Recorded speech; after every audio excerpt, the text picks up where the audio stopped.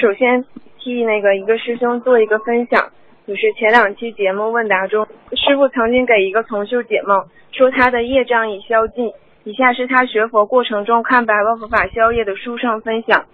嗯感恩师傅，嗯师傅一直在强调要看白话佛法。刚开始读一篇白话佛法，十分钟就读完，到现在要花上一个小时做笔记，反复看，非常有收获。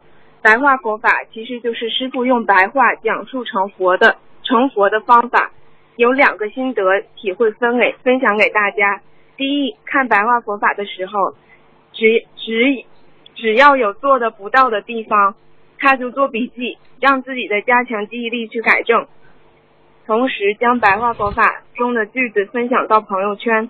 第二，看白话佛法时候，这位师兄非常希望每个人都可以读到这么好的开示。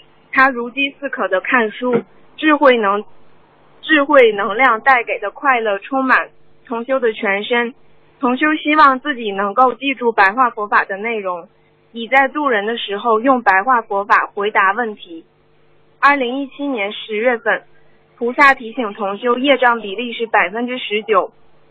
今年雅加达法会，菩萨提醒同修业障已消尽，六个月时间业障消除了将近百分之十九。白话佛法的力量不可思议，白话佛法是让我们脱离人间思维，用菩萨的思维去思考问题。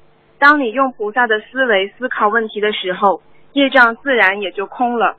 同修跟师傅学佛六年了，从未找过师傅看图腾，只是按照师傅教我们的方法，没有懈怠的学佛。六个月的时间，业障消除了近百分之十九。